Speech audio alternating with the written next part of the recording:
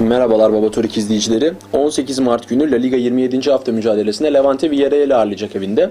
Ee, Villarreal açıkçası benim güvenimi haftalar önce kaybetmişti. Hani deplasmanda kazanması gereken çok fazla maç vardı. Zayıf takımlarla oynadı ve hani o maçlardan en az beraberlik çıkartsa şu an çok daha rahat durumda olacaklardı. 3 puan üzerindeler düşme hattında ama oradan kurtarmaları gerekiyordu kendini. Hani sürekli kadro kalitelerine, işte eski La Liga tecrübelerine güvendim. Hani o maçları kazanacaklarına inandım ama deplasmanlarda gerçekten çok kötü durumdalar. Ligin en kötü takımılar Zaragoza ile birlikte deplasmanlarda ve hani iç sahada belki bir şeyler yapıyorlar ama deplasman performanslarına bence kesinlikle güven vermiyor. Levante'ye gelecek olursak ise haftalar ilerledi. Onların hani peri masalı bitti. Biraz da yaş sorunu yaşıyorlar hani.